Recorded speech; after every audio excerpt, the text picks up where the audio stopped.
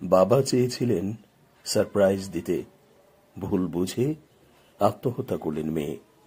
পছন্দের বাইরে বিয়ে হচ্ছে মনে করে আত্মহত্যা করেছেন বরগুনার এক কলেজ ছাত্রী, যাকে তার পছন্দের ছেলের সঙ্গেই বিয়ে দিতে চেয়েছিলেন বাবা মা।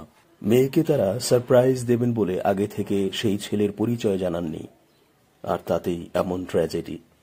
শনিবার বেলা সাড়ে দশটার দিকে রুমা খাতুন আঠারো নামে এক তরুণীর মরদেহ উদ্ধার করা হয়েছে বলে জানিয়েছেন জেলার তালতলি থানার ওসি কাজী শাখাওয়াত হোসেন তপু। রুমা তালতলি উপজেলার শিকারীপাড়া এলাকার আলাউদ্দিন মোল্লার মেয়ে। তালতলি সরকারি কলেজের দ্বাদশ শ্রেণির শিক্ষার্থী ছিলেন তিনি। আলাউদ্দিন সাংবাদিকদের বলেন, প্রতিদিনের মতো কলেজের এক শিক্ষকের কাছে প্রাইভেট পড়ে সকাল দশটায় বাড়ি ফেরেন রুমা।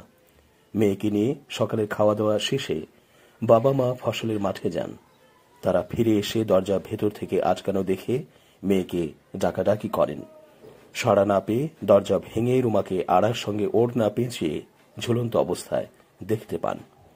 আলাউদ্দিন এই মৃত্যুর প্রকৃত কারণ বলতে পারেননি। তবে তিনি বলেন, তিনি মেয়ের কোনো চাওয়া অপূর্ণ রাখেননি। আমার খুব আদরের মেয়ে ছিল। আমরা ওর পছন্দের ছেলের সঙ্গেই বিয়ে ঠিক করেছিলাম। কিন্তু তাকে তা বলি নাই, তাকে সারপ্রাইজ দিতে চেয়েছিলাম। সে হয়তো মনে করেছিল অন্য কোথাও আমরা তার বিয়ে ঠিক করেছিলাম। এ কারণে আত্মহত্যা করতে পারে। রোমার সঙ্গে এলাকার এক ছেলের প্রেমের সম্পর্ক ছিল বলে পরিবারের সদস্যরা জানিয়েছেন। সেই ছেলের বাড়ি থেকে শনিবার বিয়ের প্রস্তাব নিয়ে আসার কথা ছিল বলেও তারা জানিয়েছেন। রোমার মৃতদেহের কাছে দুই পৃষ্ঠার একটি সুইসাইড নোট পাওয়া গেছে। ওসি তপু সুইসাইড নোটের বরাতে বলেন ওই ছেলের সঙ্গে তার পবিত্র প্রেমের সম্পর্ক ছিল। তার মৃত্যুর জন্য কেউ দায়ী নয় বলেও রুমা সুইসাইড নোটে উল্লেখ করেছেন। পুলিশ ঘটনাস্থল থেকে মরদেহ উদ্ধার করে ময়না তদন্তের জন্য বরগুনা সদর হাসপাতাল মর্গে পাঠিয়েছে বলে জানিয়েছেন ওসি তপু।